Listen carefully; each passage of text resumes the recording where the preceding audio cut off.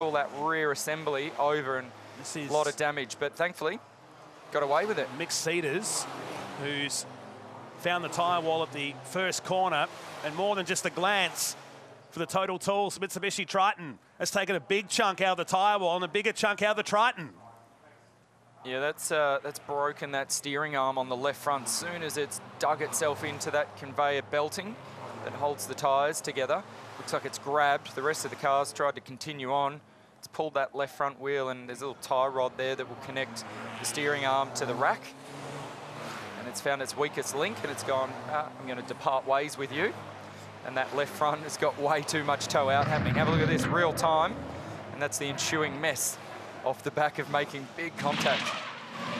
Oh, wow. He got it again further down the road as well, and it's pushed the wall in on an angle, and that is game, set, and match for the 45. I, was going to ask this question a moment ago. They're going to punish these curbs. This is a real big first big test these Super Utes have had, hitting the curbs. Yes, we've been to other street circuits, but this is the real one. They really clout the curbs.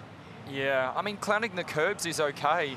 What's not okay is when you end up in that fence there, and I've been there, we spoke about it before, been into that tyre bundle, and it you know, does a lot of damage. I reckon he would have got away with that. It's this next bit because it's broken that steering arm and he's got no control over the car. Yeah. And if you have a look where it's made contact there, it's just on that concrete barrier. There is a little weak link there in the gate and it's moved the whole thing in and it's almost a bit like a guillotine as the car just runs along there. When it gets to those little edges, it just does a lot of damage. So that secondary hit, I'm going to say, has probably done some chassis damage to the left front on Sieders' car. So that's unfortunate. He's had a tough year. Just got the point before that gate. It's right in front of one of the apartment complexes here at Surfers Paradise. You just see it pushed it in, but that would have been where the majority of the damage would have happened. He's Thankfully, their pits is just down the road there. They'll tow it down. The session will stay. Greg finishing a lap right now. And is there more drama now for Luke Vanner? He's found the wall as well at the same spot down at turn one. He's pulled up. It's like a parking lot down there now on the runs at turn number four.